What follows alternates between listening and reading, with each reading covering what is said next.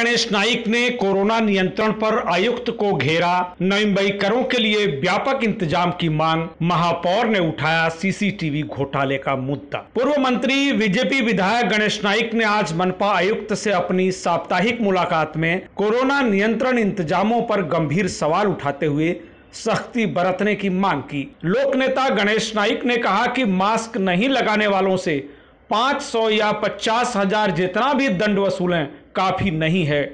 ज़रूरी है कि ऐसे लोगों को जागरूक करते हुए उन्हें मास्क भी दिया जाए। उन्होंने कॉन्टैक्ट ट्रेसिंग घोटाले पर अधिकारियों के निलंबन की बजाय अभियान को और पारदर्शी बनाने पर ज़ोर दिया और अब तक की टेस्टिंग पर हुए खर्च और फ़ायदे का विवरण रिपोर्ट देने एवं मनमानी कर रहे अधिकारियों पर लगाम कसने की भी अपील की। आइए सुनाते हैं गणेश नाइक ने और क्या कुछ कहा। परंतु काही लोक मास्क वापरण्याचा खाली बहाणा करतात. गळ्यात बांधतात. पोलीस दिसतात तर ते मास्कवरती येतात. त्याच्यामध्ये जे घटकांचं नाव घेतो ते काही शंभर टक्के नाही पण त्याच्यातले दहा पंधरा टक्के घटक. दुकानदारापैकी दहा पंधरा टक्के घट म्हणजे दुकानदार मास्क गळ्यात बांधतात आणि लोकांशी चर्चा करतात. त्यांच्याकडे आलेले ग्राहकसुद्धा तीच परिस्थिती आहे. रिक्षावाले ट्रकवाले टेम्पोवाले ए सी गाडी असेल तुमची तर तुमच्या गाडीमध्ये तुमच्याकरता तुम्ही मास्क नाही वापरत समजू शकतो. परंतु जिथं सार्वजनिक बाब आहे त्या ठिकाणी मास्क वापरला गेला पाहिजे. मास्क वापरत नाही म्हणून आपण दंड करतो. त्यांनी पावती घेतल्यानंतर तो जसा का म्हणजे योद्धासारखा जातो पुन्हा मास्क नाही. म्हणून मी ऐकताना आम्ही सांगितलेलं की त्या माणसाला दंड करताना एक मासची रक्कम त्याच्यात तुम्ही इन्क्लूड करा आणि त्याला मास्क द्या. आणि त्याचं नाव घ्या ते कॉम्प्युटरला टाका. जर या वेळेला जर त्याला जर शंभर रुपये दंड केला तर पुढच्याला पाचशे रुपये नंतर पाच हजार रुपयामध्ये. नंतर चौथ्या वेळेला पन्नास हजार परत. अशा प्रकारची पैसे घेणं हा महत्त्वाचा भाग नाही आहे त्याला ती शिस्त लागावी हा महत्त्वाचा भाग.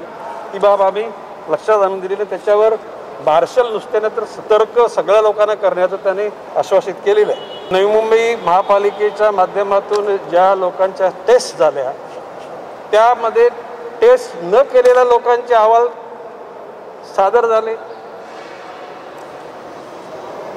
कुठे झाले कोण डॉक्टर त्यांचा इन्चार्ज कोण?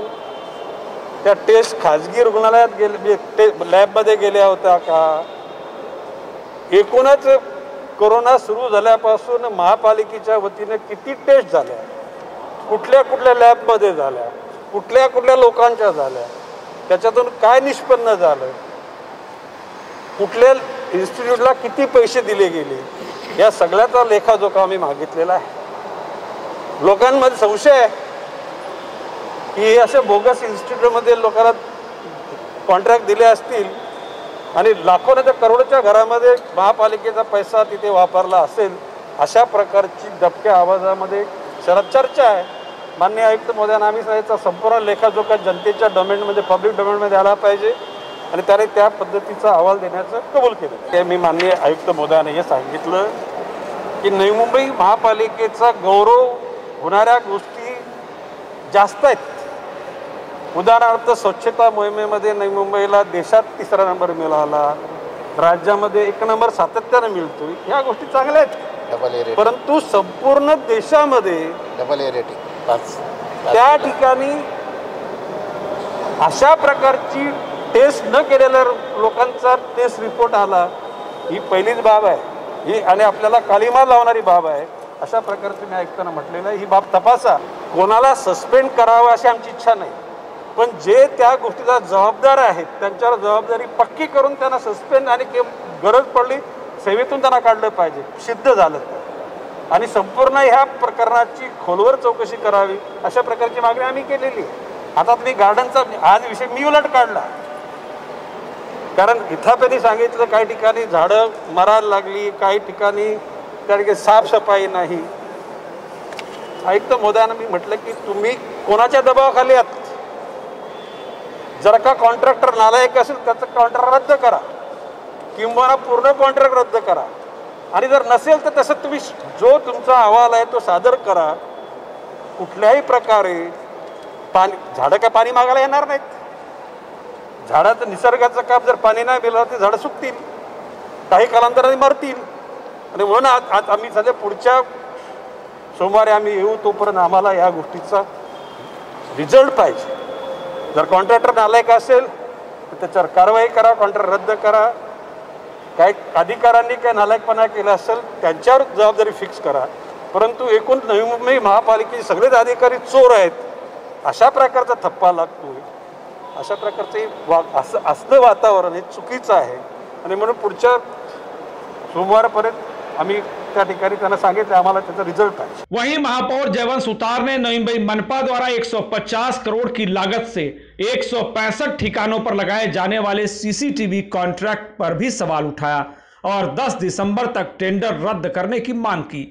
जयवंत सुतार ने कहा कि इस टेंडर को लेकर 1600 शिकायतें प्राप्त हुई हैं, फिर भी महानगर पालिका ने नई शर्तें जोड़ते हुए स्राइडर पेल्को और वेरिटा जैसी बड़ी कंपनियों को यह कॉन्ट्रैक्ट दे दिया। उन्होंने कहा कि इससे कारपोरेट कंपनियों का एकाधिकार बढ़ेगा और स्थानीय लोगों को रोज़गार से वंचित होना पड़ेगा।